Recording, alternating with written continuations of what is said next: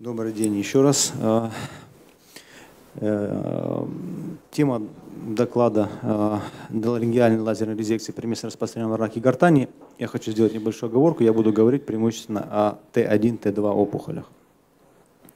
Ну, немного напомню, все мы эти данные хорошо знаем, что чаще всего происходит поражение складочного отдела гортани – затем подскладочно в незначительном количестве случаев, подсклад... Э, затем надскладочно и в незначительном количестве случаев подскладочного.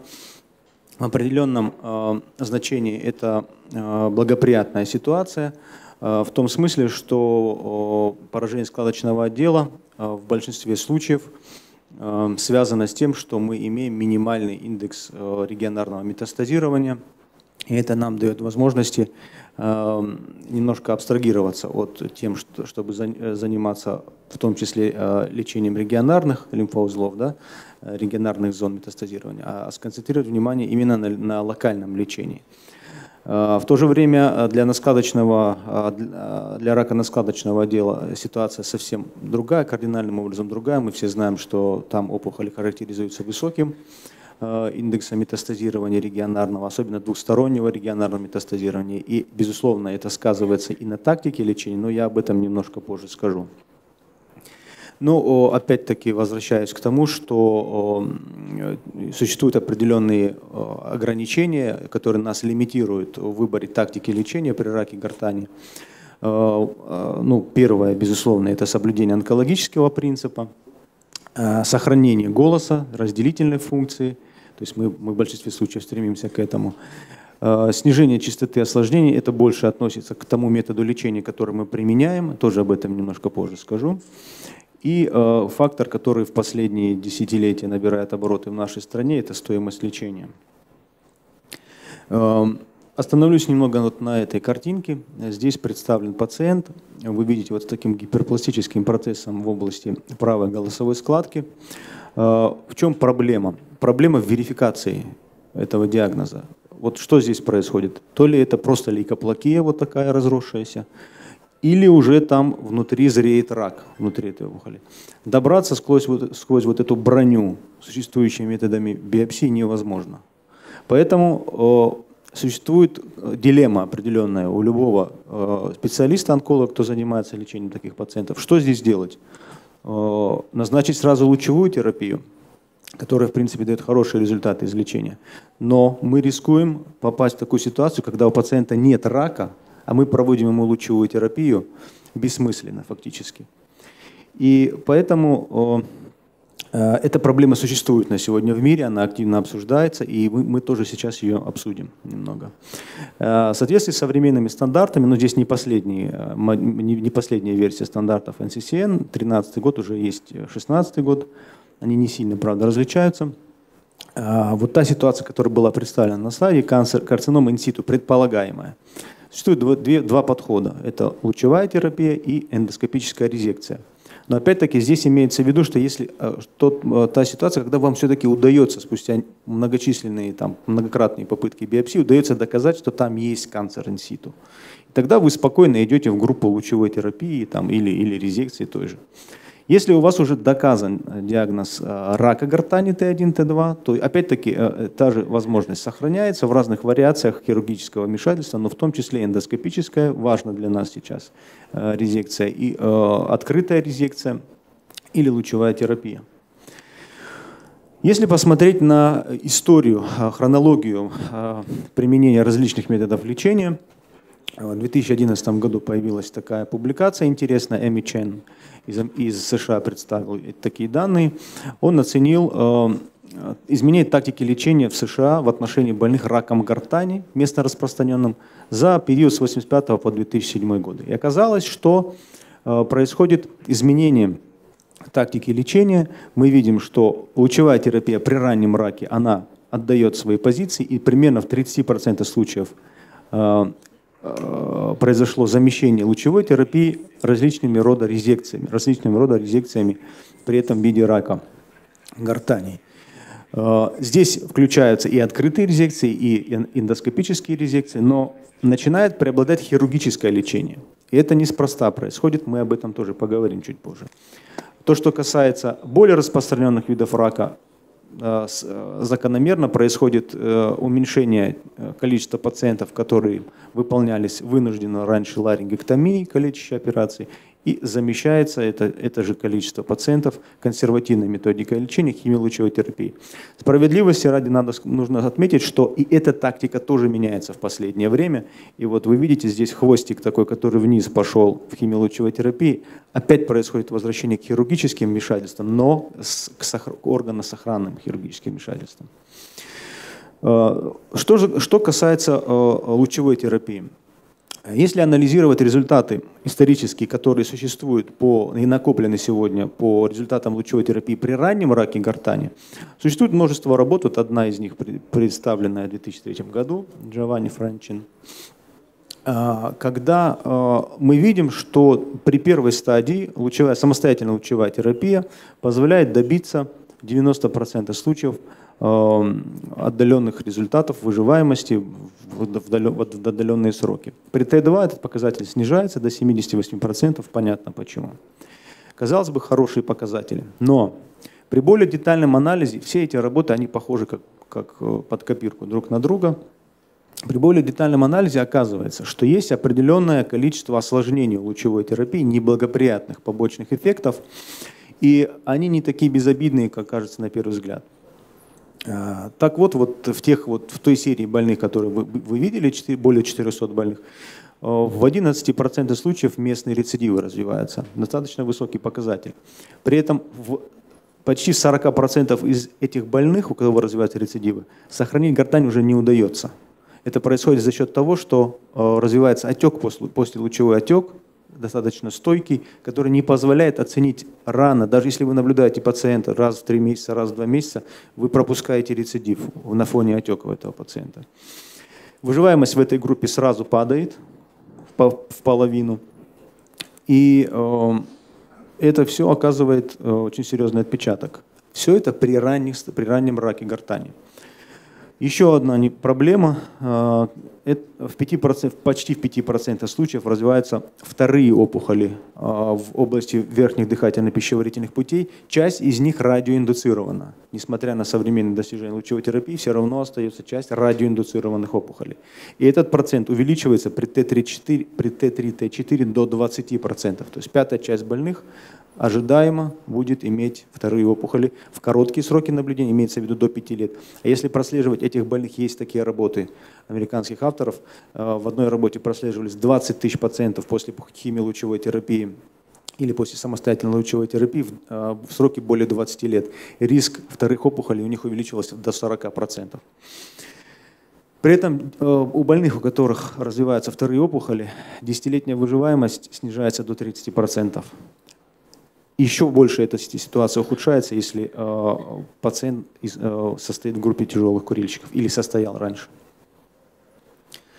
Ну вот эта картинка, она знакома многим, э, когда у пациента после облучения развивается вот такой стойкий отек со стенозом гортани в разной степени выраженности. Конечно, это не часто э, приводит к наложению трахеостом после лучевой терапии, но это достаточно серьезное осложнение, которое требует серьезной сопроводительной терапии. И вот э, такого рода отек сохраняется у, у таких пациентов течение двух месяцев в 30% случаев, стойкий отек больше полугода в 14%, а дисфония постоянная остается в 20% случаев. Опять-таки, можно идти на такие жертвы, если мы лечим распространенные формы рака. Но когда мы имеем дело с небольшой опухолью в гортани, мне кажется, это не совсем приемлемая ситуация. Таким образом, э, существует ряд побочных нежелательных эффектов, о которых мы уже говорили. И, и еще один из них, э, из этих факторов, это продолжительность лечения 5-6 недель. Соответственно, и стоимость, стоимость лечения таких пациентов она э, достигает серьезных уровней. Ну, все мы знаем, что существует возможность выполнения открытых хирургических вмешательств, и а, такие вмешательства позволяют достичь высоких показателей выживаемости, но есть одно большое «но» это реабилитация этих пациентов. Я уже не говорю о том, что необходимо накладывать трахеостому временную таким пациентам. Все это инвазивная методика, крайне инвазивная методика, приводящая к серьезным усилиям по реабилитации таких пациентов. У некоторых пациентов остаются стойкие нарушения, и дис, ну, я не говорю уже о дисфонии, есть и пациенты, у которых развивается стойкое поперхивание, нарушение прохождения пищи. Ну, появилась в 1972 году определенная альтернатива. Это всем известный CO2 лазер. Вот таким образом выглядит методика эндоларингеальных резекций. Тоже многие из вас знают ее. Опорный ларингоскоп. Эта методика, в принципе, существовала и раньше, но без лазера, когда выполняются так называемые холодные резекции с помощью микроинструментов через тот же опорный ларингоскоп. Микроинструментами выполнялись резекции предопухолевых в основном состоянии. В чем ее минус? Минус в том, что при холодной резекции происходит э, кровотечение в э, просвет дыхательных путей. Это колоссально осложняет э, работу хирурга, и не говоря о том, что это потенциально приводит к риску развития различных осложнений интраоперационных. Так вот, когда появился CO2 лазер, ситуация кардинальным образом изменилась, потому что он, он приводит к одновременному, помимо того, что он разрезает ткань, он приводит к одновременному гемостазу сосудов э, э, капиллярного размера, которые находятся в зоне резекции. Но этого достаточно для того, чтобы выполнять бескровную резекцию. Э, кроме того, есть преимущество физического характера у С2 лазера. Самое основное из них то, что он быстро поглощается водой в тканях, а ткани гортани богаты водой. И при этом практически не происходит термического повреждения тканей в зоне резекции, а значит не происходит а, развитие отека после операции, вне зависимости от объема резекции, какой бы объем резекции ни был. И, и это позволяет нам избежать наложения трахеостомы таким пациентам. Кроме этого, кардинальным образом укорачивается продолжительность лечения, потому что после таких резекций пациенты на вторые сутки могут идти домой. Вторые, третьи сутки. И не сравнить, абсолютно не сравнить реабилитацию пациента. То есть на вторые сутки пациент спокойно питается после операции и чувствует себя абсолютно здоровым. И встает закономерный вопрос, каковы, э, каковы же результаты вот этих трех методик, которые существуют, и можно ли их сравнивать друг с другом. Ну, ранние э, результаты, которые были получены, они сразу, сразу продемонстрировали, что эндоларингеальные лазерные резекции, они занимают абсолютно э, адекватное, достойное место в ряду вот этих предложенных методик по результатам лечения. Сразу были разработан, была разработана классификация видов резекций ткани в, области, в гортани. Ну, в частности, здесь приведена классификация резекции в области складочного отдела гортани, Европейское ларингологическое общество, тоже достаточно известная классификация. Важно здесь что? Существует принципиально три возможных варианта при локализации в складочном отделе. Так называемые суб, субэпителиальные или э, под, э, подслизистые резекции, это при поверхностных опухолях. Дальше, углубляясь трансмускулярные резекции, когда мы уже входим, э, резицируем больше ткани вглубь с э, мышечной основой э, голосовой складки. И расширенные складочные резекции, когда мы уже еще при размерах опухоли, в основном Т1Б или Т2, когда мы уже включаем блок ткани, помимо складки, прилежащие соседние структуры, вестибулярную складку, голосовой отросток, переднюю комиссуру и так далее. Еще один важный момент э, при выполнении таких хирургических вмешательств – это вид анестезиологического пособия, то есть э, вариант э, проведения вентиляции легких. Ну, как мы знаем, есть стандартный для нас метод – это эндотрахеальная интубация. И есть, в принципе, методика так называемой инжекционной эндотрахеальной лангиации. В чем различие? Вот это один и тот же пациент, вы видите на слайде. И у этого пациента есть опухоль, только ее не видно. Когда мы убираем э, эндотрахеальную трубку, мы видим, что опухоль вот таких больших размеров, просто она на ножке исходит из задней третьей голосовой складки, и она полностью смещается трубкой и, и теряется из виду при выполнении вот такого хирургического вмешательства. Ее невозможно увидеть, невозможно визуализировать и невозможно выполнить эту резекцию. Поэтому мы в своей работе чаще используем инжекционную Э, вентиляцию. Э, вот вы видите маленькая такая трубочка, через которую подается воздушная смесь. И вот это уже больной во время проведения этой вентиляции, никаким образом эта труба не мешает для выполнения резекции.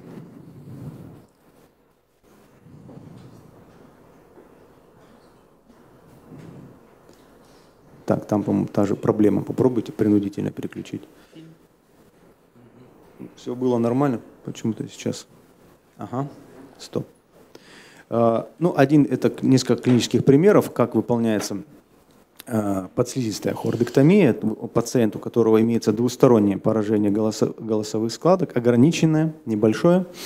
В таком случае часто для, в плане профилактики синехиальных сращений в области складок выполняется хирургическое вмешательство в два этапа. Сначала на одной складке, затем на второй. Ну вот таким образом выполняется эта резекция. Просто здесь важный момент в том, что э, хотелось показать, насколько прецизионно работает этот лазер.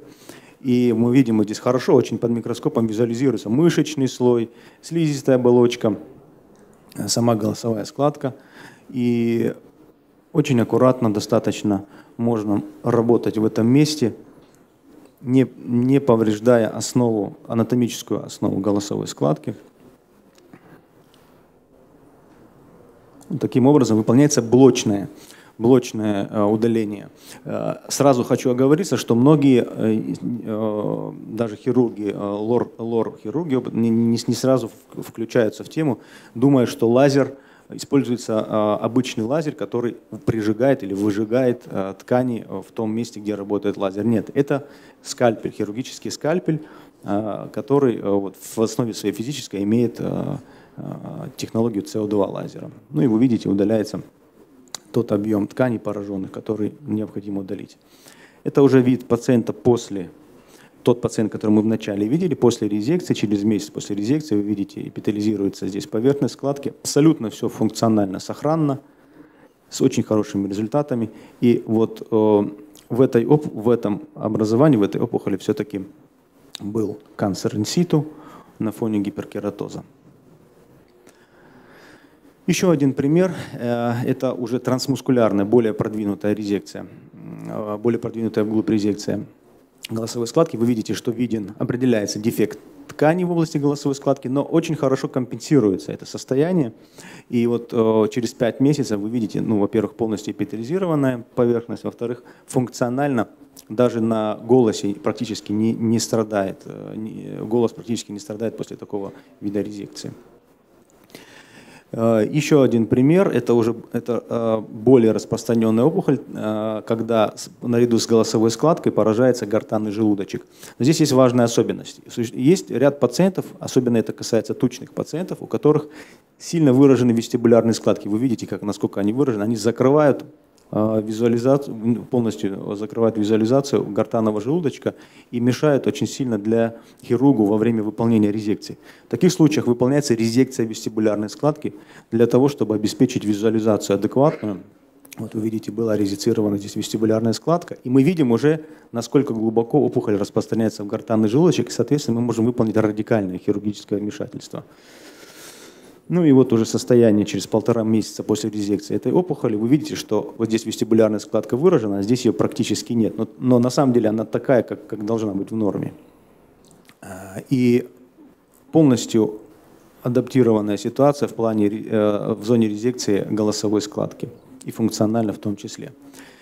Еще более продвинутые опухоли Т2 уже, когда опухоль вызывает нарушение подвижности голосовой складки, но здесь важно вот в этом примере то, что вы видите больших размеров экзофитный компонент, который перекрывает просвет гортани, мешает э, адекватной визуализации объема резекции. В таких случаях часто выполняется резекция экзофитного компонента сначала, и, и, и дальше уже продолжается резекция. Ну, тоже для примера, чтобы было здесь ясно, что происходит, выполняется уже расширенная э, резекция голосовой складки, захватывается обязательно вестибулярный отдел. В этом случае э, в блок удаляемых тканей был включен и голосовой отросток, сейчас будет видно это, потому что э, он близко подходил к опухоли, вернее, опухолевый инфильтрат близко подходил к голосовому отростку, оставлять его э, было нецелесообразно.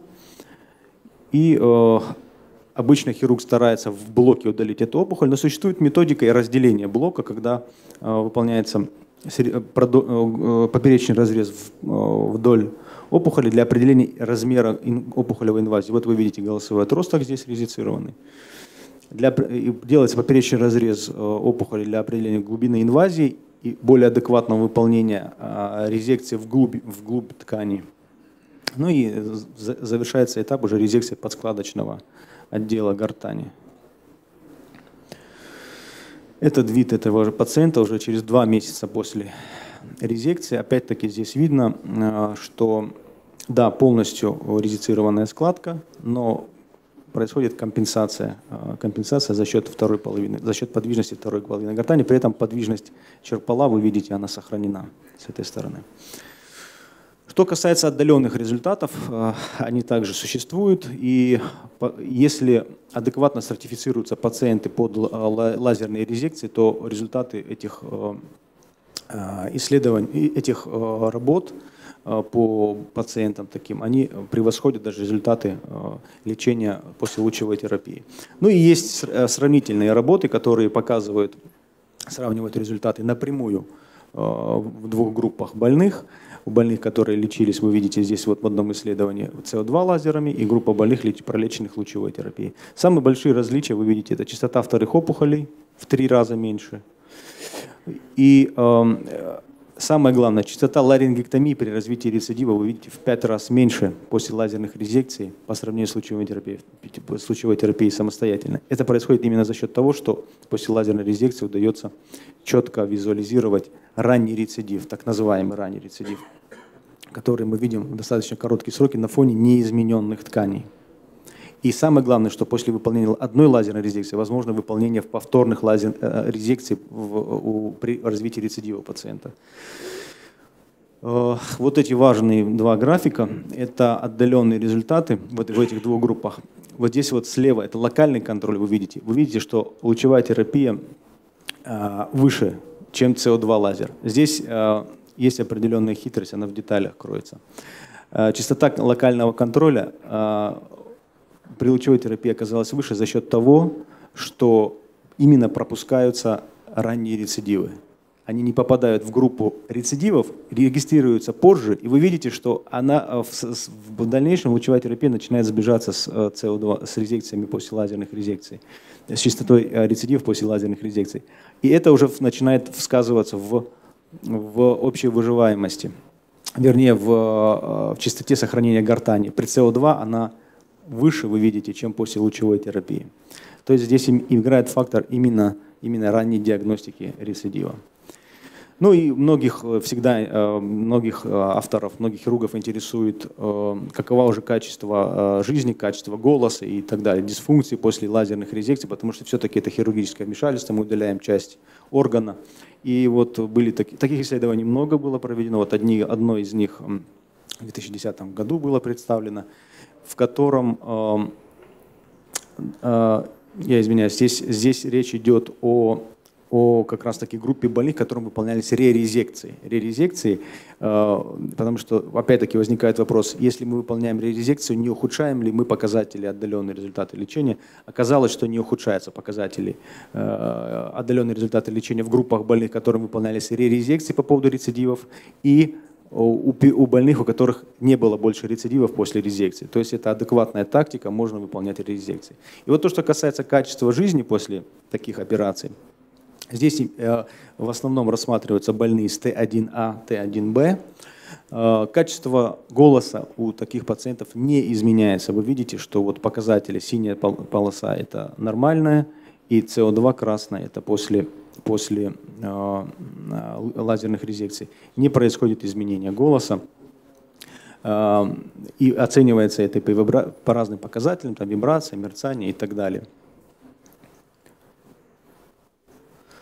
Ну и два, два слова буквально о, о опухолях надскладочной локализации. Есть ряд положительных моментов, которые э, высказываются за использование лазерных резекций. Ну вот часть из них здесь представлена, вы видите, это э, то, что, ну понятно, наложение трахеостомы э, при выполнении открытых резекций необходимо в 100% случаев, при выполнении лазерных резекций в какой-то небольшой проценте случаев это нужно делать, и просто вынужденно это делается, но все равно это в пять раз меньше, чем при открытых резекциях. Очень важный показатель – это питание через носопищеводный зон, то есть восстановление функции глотания без поперхивания. Когда при открытых резекциях необходимо выполнять это в 100% случаев длительно, при лазерных резекциях в 5 раз меньше. Стойкое нарушение глотания в виде гастростомы после открытых резекций 35%, после лазерных в 3%. Время восстановления глотания, вы видите, тоже значительно различается. И аспирационная пневмония, как показатель неадекватного восстановления дыхания, тоже глотание тоже различается сильно. Здесь на этом слайде не рак гортани, это саркома, но просто для наглядности я решил показать этот слайд. Вы видите, что э, вот э, вообще интересная история этого пациента. Он, у него вот это образование с детства. А, он к нам уже попал в 30-летнем возрасте. Э, достаточно успешно лечился он э, консервативно, но уже после консервативного лечения во взрослом состоянии у него развился рецидив, вот такой большой, который вызывал у него апноэ во время сна. То есть фактически человек нормально не мог спать. Понятно почему, потому что опухоль перекрывала просвет гортани. И вот в такой ситуации ничего, кроме как резекция, не выполнить. Э, но не, крайне невыгодная ситуация в плане открытой резекции, потому что приходится делать фаринготомию. Все мы знаем, чем, какими неприятными последствиями это грозит, даже если все заживает хорошо после этого доступа.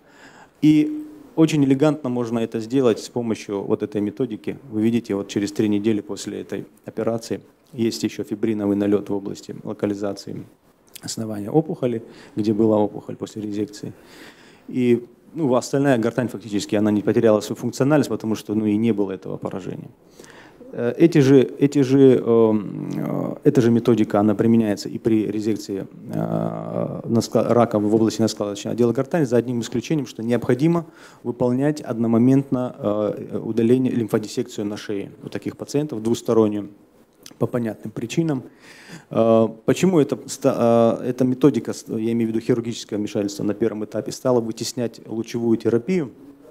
Потому что а, появился, несмотря на то, что вот были первые, первые такие восторженные данные по поводу проведения консервативного лечения пациентов при раке, распространенном раке гортани, которые во множестве работ были продемонстрированы, в том числе вот одна из работ э, э, Форостье, американская исследовательница.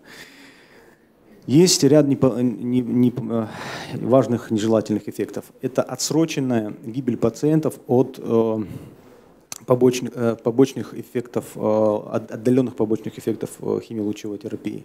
Самый важный здесь это снижение резервов, функциональных резервов организма после той агрессивной химиолучевой терапии, которая проводится.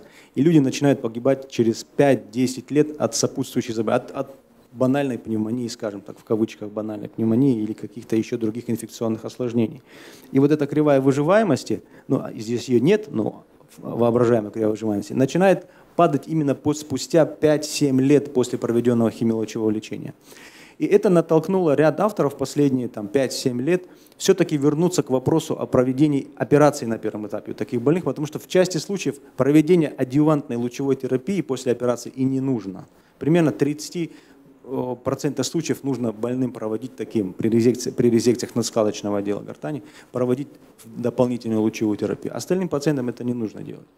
И вот, собственно говоря, и появляются такие работы. Вот одна из них, американский исследователь эм, Хинни, очень, который обладает колоссальным опытом таких резекций, э, представил результаты, которые в сравнении с результатами химконсервативного лечения, они не отличаются по показателям э, локорегионального контроля и э, сохранения гортани у пациентов. Ну и наш небольшой опыт, который у нас существует в настоящее время, это 76 пациентов с различными э, раками гортани, э, я имею в виду по распространенности. Есть, безусловно, есть э, определенное количество рецидивов. Вы видите, что самое большое самая большая частота при Т1Б, ну, я связываю это, она на самом деле высокая после этого. Э, я связываю это с накоплением опыта в определенном э, понимании этого слова, потому что на первых, э, у тех пациентов, которые вначале у нас проходили эти, подвергались этим операциям, не все-таки недостаточно адекватно мы оценивали края резек, отступы от опухоли в здоровые ткани, и у них в последующем развивался рецидив. Нам удалось спасти и этих пациентов в том числе, вылечить это их, но все равно нужно это учитывать в, в планировании хирургических вмешательств у, таких, у такой группы больных. Ну и небольшие, небольшие рекомендации, которые мы приводим, это а, то, что у пациентов, а, у которых есть ранний рак гортани, все-таки лазерная резекция – это серьезная альтернатива лучевой терапии самостоятельной.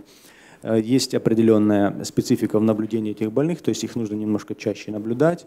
Ну и самое важное, что у больных, у которых э, развивается рак на фоне дисплазии, и дисплазия в своих клинических проявлениях превалирует над, над раковыми какими-то визуаль, визуальными проявлениями, поставить правильный диагноз все-таки можно только э, при отсутствии, подчеркну, при отсутствии возможности верифицировать его э, с помощью биопсии эндоскопической. Э, такая возможность существует только после выполнения резекции у пациентов. Спасибо за внимание. Уважаемый Али Мурадович, спасибо большое за сообщение. Действительно очень интересное. А, есть ли какие-то вопросы в зале? Али Мурадовичу, да, пожалуйста. Али Мурадович, спасибо за интересное сообщение. У меня маленькие вопросы, короткие. А, как вы оценивали а, края резекции? Это проходило интероперационно или по данной батарейной проводке? Были ли у вас пациенты с положительными краями резекции? И, на ваш взгляд, если мы имеем пациента с положительными краями резекции, дальнейшая тактика – это ререзекция в ранний послеоперационный период или проведение лучевой терапии? Спасибо. А, сразу скажу, что мы не используем интероперационную оценку краев резекции, хотя, это, а, хотя лучше использовать. И, и все авторы, которые, это, которые занимаются, все хирурги, которые занимаются этой патологией, они пропагандируют интероперационное исследование э, краев резекции. Просто у нас нет пока технической возможности делать это интероперационно в, связи с, с тем, что нет отдельного специалиста, который может заниматься только нами. Но мы стремимся к этому. Э, были пациенты, у которых были положительные края резекции. Мы это узнавали уже по результатам э, планового гистологического исследования после операции. Э, да, среди них были пациенты, которым мы выполняли резекции. Но возвращаясь опять к первому, первой части вопроса, я скажу, что действительно самая правильная тактика – это проводить интероперационно, э, размечать правильно удаляемый препарат – отдавать его на срочное гистологическое исследование, чтобы патоморфолог вам дал сразу ответ, и вы уже, если есть край резекции положительный, выполнили дополнительную резекцию в том участке, где промаркировано э, вот, это, э, вот этот положительный край. И это, это залог очень высоких показателей излечения у этих пациентов. Есть еще вопрос, пожалуйста. Али Мурадович, скажите, пожалуйста, вот слайд можно вернуться, где вестибулярный отдел гортани да. поражен? Самый первый или Нет, вот последний? ближе к да, по последнему. А, ну там вот у вас нарисовано фиксированный отдел надгортанника, угу. да? В каком угу. объеме вы выполняете резекции угу. при подобном поражении? Значит, при, именно при фиксированном отделе? Ну вот или когда, да, при... когда поражен надгортаник или ну, переход на вестибулярную складку, да. какой ну, на объем? Сам, на самом деле не, не так принципиально. А, выполняется стандартный объем надскладочной резекции. А, ну, горизонтальной резекции. Горизонтальной резекции, но без доступа открытого, как обычно это да. делалось при открытой да. резекции. Да. И по времени сколько занимает подобная операция? Знаете, если вот отработано вот сейчас, вот когда мы ну, уже да, владеем конечно, этой техникой, с опытом я, уже. Да, а, примерно это занимает полтора часа. Угу. Э, больные после подобной операции, разделительная функция, как быстро восстанавливается? Там же есть отек, э, да, наверное. Отека после... нет. Э, я просто не успел показать пациентам вот в раннем послеоперационном периоде, где видно хорошо, что никакого отека нет угу. после операции. Эм, разделительная Там функция большой. страдает минимально. Вот у меня, я сейчас скажу сколько, пятеро пациентов есть с надскладочными резекциями. И у них у четверых пациентов глотание восстановилось в течение недели, без зонда. Без зонда. А неделю а, как они кушали? Они питались. Было поперхивание, угу. но они питались. Здесь очень важный момент, э, очень важный момент, сейчас закончу. Значит, у одного пациента э, восстановление произошло в сроке где-то до двух недель глотания. Здесь важный момент, это, это тоже подчеркивают многие исследователи, э, возраст пациента при выполнении надскладочных резекций. То есть резервы легких ну, и сопротивление вот тому поперхиванию, которое может да, быть. Да. Это очень важно. Если пациент старше 60 лет, то это необходимо учитывать. И лучше таким пациентам все-таки ставить назогастральный зонд. Угу. Он будет стоять не так долго, как после от, обычных открытых резекций. И примерно где-то 10-14 дней он будет ну, стоять. Но так лучше, обычно но стоит лучше, он... да, но лучше им ставить. Но угу. я скажу вам сразу, что после открытых резекций за две недели не восстанавливается. Восстанавливается. Пациент. Не восстанавливается. Поверьте. Восстанавливается. Ну, останемся каждый при своих мнениях. Большой опыт просто Хорошо. работы с, с Останемся открытыми каждый при своем резекциями. мнении. Останемся каждый при Хорошо. своем мнении. Спасибо. Спасибо большое. Есть еще вопросы к докладчику?